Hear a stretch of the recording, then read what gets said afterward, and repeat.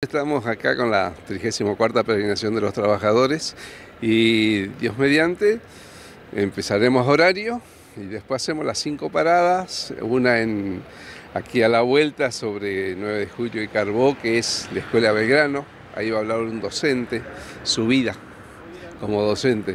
Después llegamos al ferrocarril y allí tenemos eh, la expresión, la campana de la esperanza se llama. Enfermos oncológicos, niños, adolescentes o adultos que tienen problemas y que le han dado el alta, entonces va y se toca la campana. Eso me pareció eh, extraordinario visibilizarlo también para los trabajadores. Después de allí nos vamos a la Divina Gracia por pronunciamiento, la capilla, para que este, la familia se exprese, con los gurises también.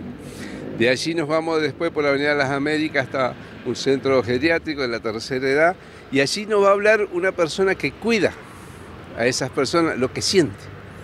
Realmente es extraordinario, me, encantó. Y luego pasamos al Procrear, donde también nos va a hablar la gente que recibió una casa, es una bendición. Hoy tener una casa propia es una bendición. Y después nos cruzamos a la Loma y ahí, si Dios quiere, tenemos la misa a las 17 horas con el Monseñor Puigari. Especialmente para pedir por los que no tienen trabajo. Eh, nos pasó a nosotros, por eso empezamos esta peregrinación, la angustia de no tener trabajo, o la angustia de que estás por recibir el telegrama de despido, o la angustia que no sabes qué va a pasar, y si tenés familia, ni hablar. Y eso es algo feo, horrible. Y la peregrinación también sirve para que el que tiene trabajo pueda darle un abrazo que se sienta acompañado a aquella persona. No estamos solos y tampoco nos salvamos solos, dice Francisco, y esto me parece extraordinario.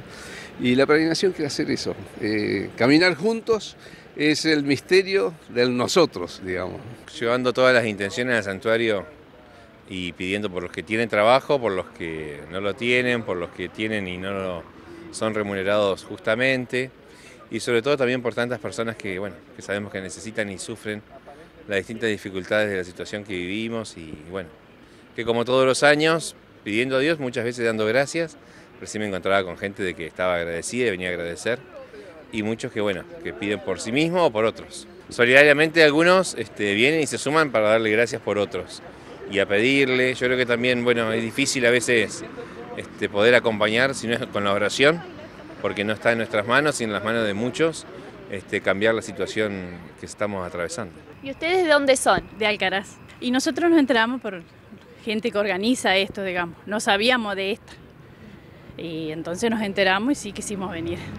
Bueno, entonces ya conocen el santuario allá de la Loma. Sí, sí, sí, lo conocemos. Sí. Bueno, un hermoso lugar. Sí, la verdad que sí, un hermoso lugar. Para que esté la máster, un hermoso lugar. Nos enteramos por José María, uno de los organizadores que se dedica este, a andar con la mater y a llevar la mater a cada pueblo. Y en Alcará nosotros no la teníamos a la imagen. Y él se organizó para llevarla y bueno, ahora nosotros eh, con ella, todo el grupo, estamos organizando para hacer eh, un, una ermita para, para llevarla a la mater a nuestro pueblo. Es la primera vez, como ellos dicen, nos enteramos por José María y bueno, y acá estamos presentes para acompañarlo. Yo siempre todos los años lo acompañamos de Hacen Cana Paraná porque tengo mis hijos que la hacen, así que apoyo a ellos y al grupo que de Alcaraz que vienen siempre, los apoyamos y gracias a Dios acá estamos. Con ganas de, estar acá, de, agradecer por el trabajo de, de todos y por los que no tienen también, pedir para que para que pueda mejorar la situación. Hay muchas cosas buenas por las que agradecer, digamos, eh, muchas posibilidades que, arrancan y demás, no solo nuestras, sino de todos los que están alrededor nuestro. Y, bueno, hay mucha gente también que la está pasando mal y que todos queremos que esto mejore. Número 34 es algo que han comenzado nuestros padres, ¿no es cierto?